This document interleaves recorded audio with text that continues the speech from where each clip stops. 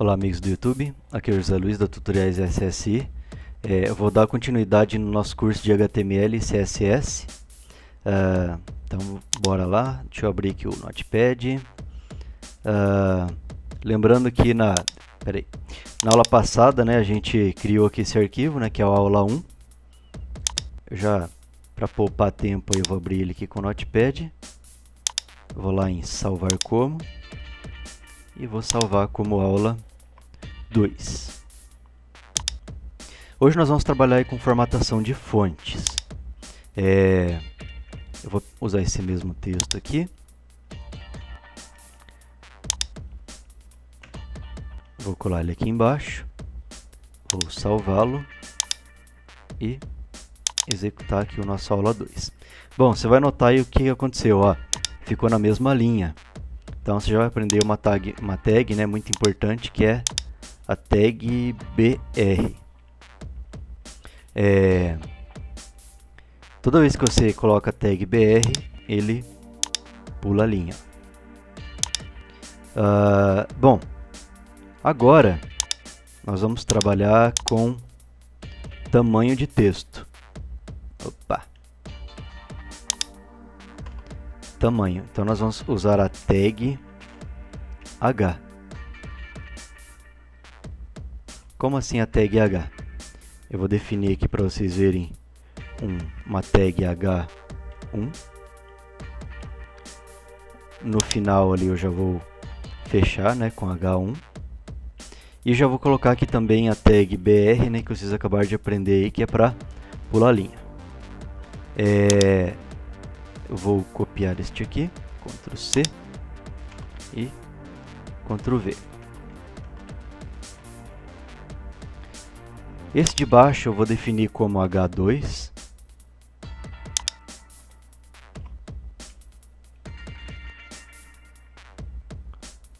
O outro vai ser o H3.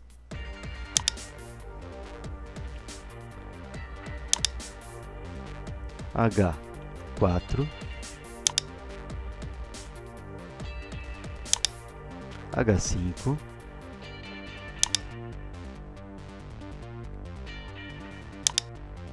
H6. Aí. Então, tenho do H1 até o H6.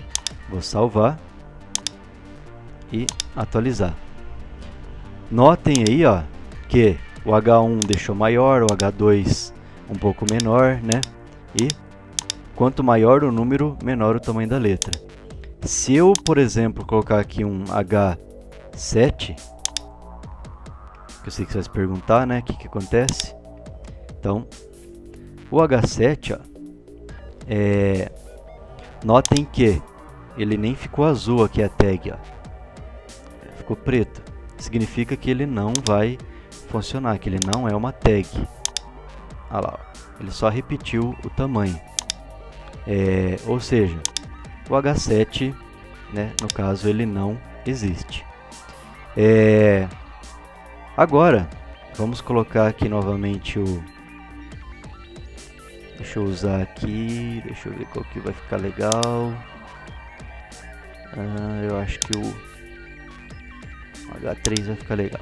Vou usar aqui um H3.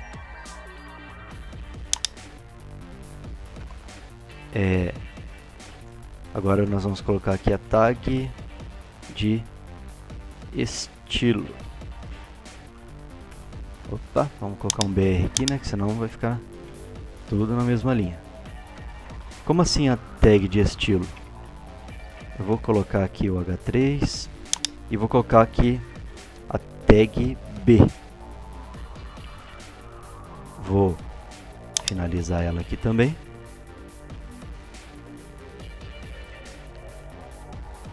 O que que acontece? Uh, deixa eu colar um normal. Então vamos salvar para a gente ver o que, que o B vai fazer ali. Ó. É... Bom, não, não tá dando para ver tanta diferença assim. Mas o, o que, que o, o B faz? Ele deixa em negrito. Vamos colar aqui e vamos colocar o a tag i.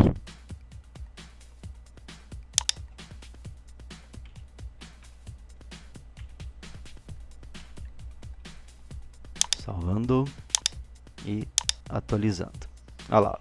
O que aconteceu? Ó, notem que ela ficou itálica, ó, ficou meio de lado. Ó. Já deu um estilo aí mais bacana para ela. É, agora nós vamos trabalhar com a tag fonte, é a mais usada, né, a mais importante de, daí da, da parte de formatação. Vamos colocar um BR aqui também. E aqui embaixo nós não vamos usar mais as tags de H. Nós vamos usar, como eu comentei, a tag fonte. É, eu vou colocar primeiramente um fonte color igual, abre aspas duplas, né? Tem que segurar no shift para clicar na aspas, que senão não funciona. Uh, eu vou colocar aqui um head. Fechou aqui. E lá no finalzinho eu finalizo aí a tag fonte. Lembrando que para finalizar é só incluir a barra ali no nome da tag. É, vamos testar? Ah lá, já ficou em vermelho. É, mas além da cor, o que mais a gente pode colocar?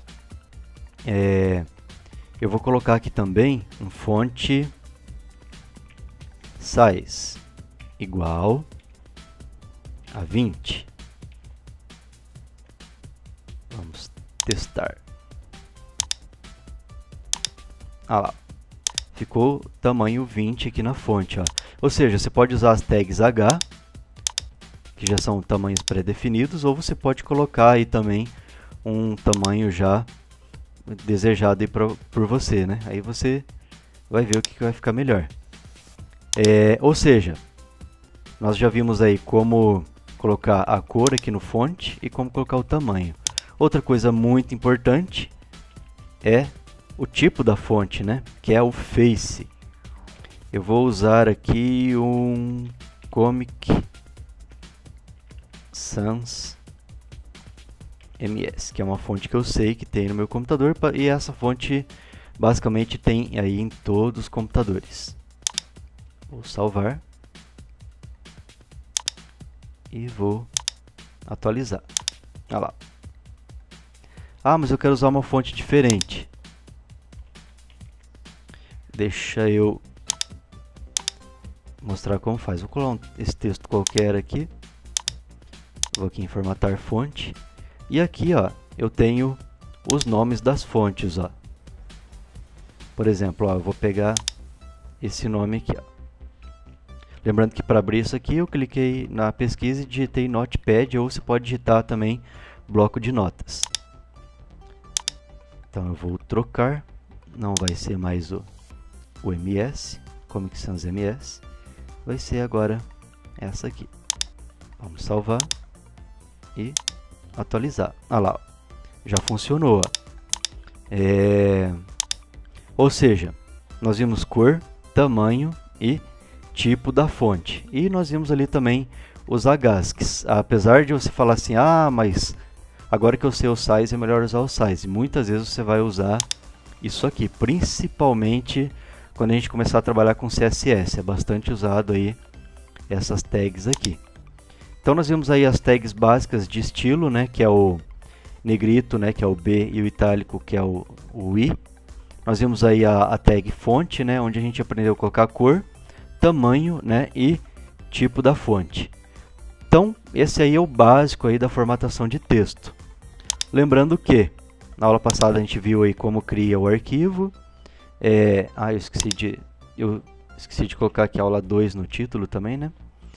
Como eu salvei como aula 2, aqui tem que ser aula 2 também. Uh, e a gente aprendeu também como colocar cor. Eu vou trocar a cor aqui para a gente ver como fica.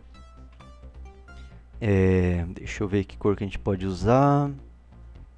Black não pode. Vamos colocar um... Vamos ver... Vou colocar um Gold. Que é o dourado. Salvar e atualizar. Olha lá. Já está funcionando. É... Então, essa aula vai ficando por aqui. Na próxima aula eu vou ensinar aí mais aí alguns efeitos aí de texto, tá? E logo logo a gente vai começar a trabalhar com imagens, tabelas, né?